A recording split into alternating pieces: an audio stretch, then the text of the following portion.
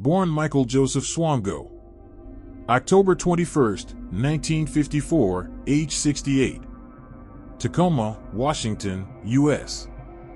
First degree murder, three counts. Life without parole. Victims 4 to 60. Span of crimes 1981 to 1997. Country United States, Zimbabwe. States Illinois, New York, Ohio, South Dakota. Florence Michael Joseph Swango is an American serial killer and for me physician who is estimated to have been involved in as many as 60 fatal poisonings of patients and colleagues, although he admitted to causing only four deaths.